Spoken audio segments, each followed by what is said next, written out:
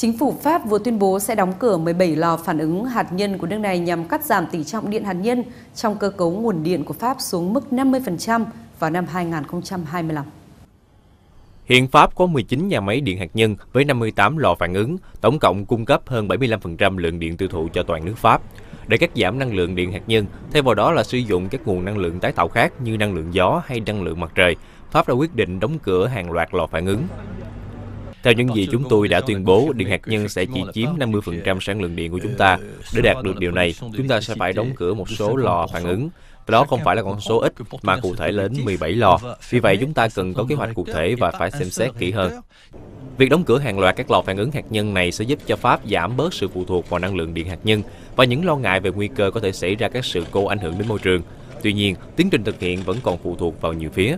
Chính phủ Pháp vẫn đang nghiên cứu kỹ lưỡng để thực hiện kế hoạch giảm dần năng lượng hạt nhân trong vòng 5 năm tới.